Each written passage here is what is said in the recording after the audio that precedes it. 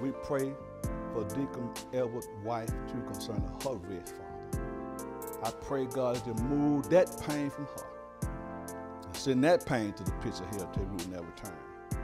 Then, God, we lift up Sister Linda, Lord God. They're having a procedure this week. I pray, God, for her. I pray, Lord God, that you step in there, Lord God. You use the doctors to make things right for her. And Lord God, we thank you for it. And God, so the way that we live out there, I ain't no telling what some of us on. Some of them might have been an alcoholic, a drug addict, a prostitute, a whoremonger, or a devil. Amen? But you're over here now. Thank you, Holy Ghost. And, and you're not walking in that walk no more.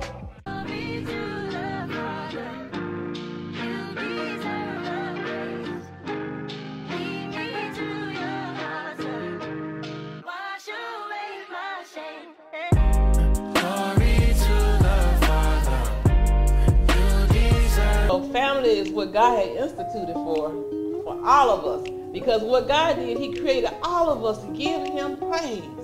He created the family from the beginning of time to give Him praise, to honor Him. And that's what He wants families to do, is to honor Him. Matter was this covering that he wore on him that was part, actually, it wasn't actually the garment, it was the anointing that was on the garment. And so Elijah, when they got to Jordan, he pulled the mantle off, rolled it up, took the mantle, and struck the Jordan River. Pray, Father, in the name of Jesus. I come now, Lord, thanking you for who He is.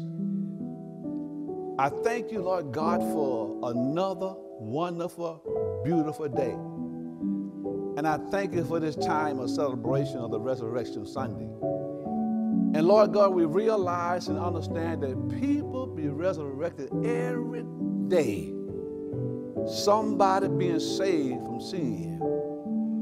Mm, mm, mm. Being resurrected from the old life to a new life. And Father, we thank you. Even a man that was blind from his birth, Jesus spit in the ground, made clay out of spit and pulled it out told him, go wash. Now the man can't see now, Jesus told him, go wash. And the pool Siloam. Now how you gonna get there? He can't see.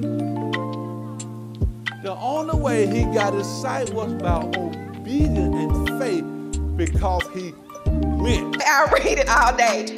But you always see all these stories about kids being kidnapped or people being killed in car accidents or somebody decided today I'm gonna be a murderer. I'm gonna kill this person. And they're being selfish because you not only hurt that person, you hurt your family too.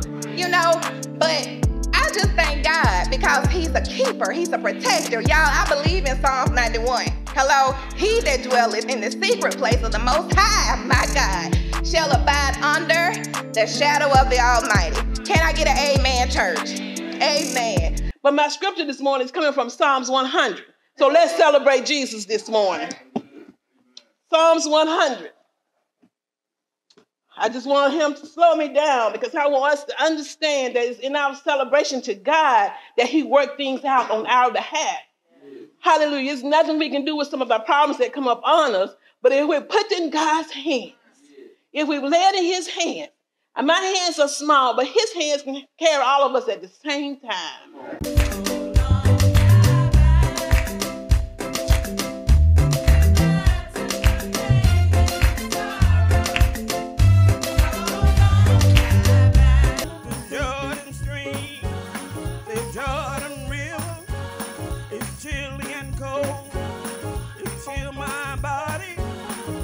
To be ready is, is to work on ourselves daily. Sanctify all the way through.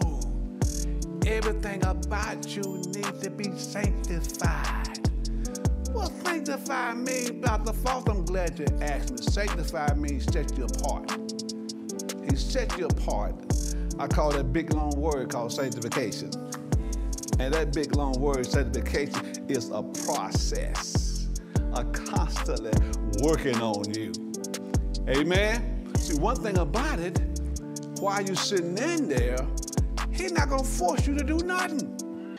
I lay awake at night. But that's all right. Jesus will fix it. Dwell in love. When you dwell in love, God dwells in you because He's love. Glory to God. See, ain't no try, don't, don't even try to figure out how God loves you like that. Don't figure out, just let Him love on you.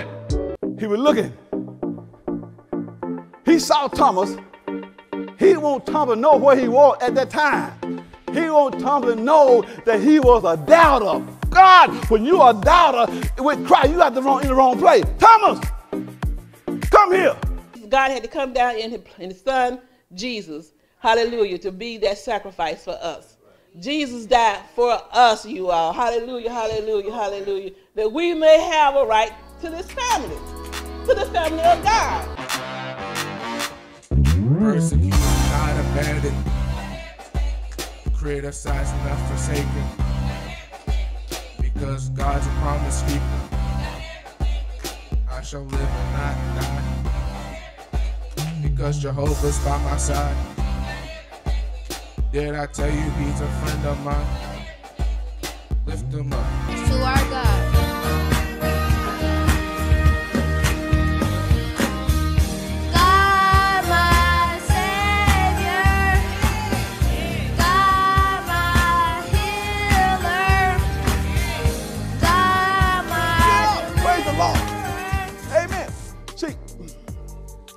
The angels, he already put place things in them what to do. Hey,